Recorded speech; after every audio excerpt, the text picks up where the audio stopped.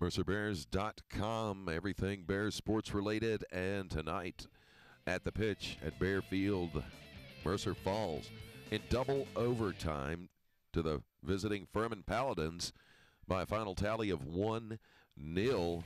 The Paladins winning on a penalty kick. And for the Bears, uh, it was a defensive dominated performance by both squads as we take a look at some of the highlights here on this Tuesday night early.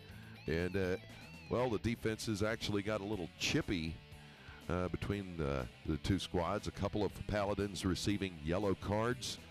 But uh, as it would turn out, it would be even at the end of regulation, even at the end of the first overtime, and a penalty kick in the 101st minute by Tony Santabanez awards the win 1-0 to the Paladins. The Bears all to 6 and 5 on the season, 1 and 2 in conference play and will be on the road for the next 3.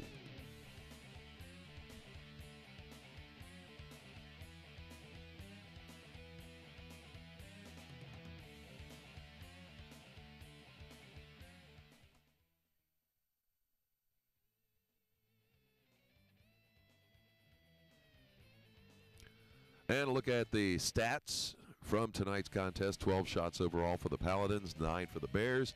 Shots on goal even at 3 apiece.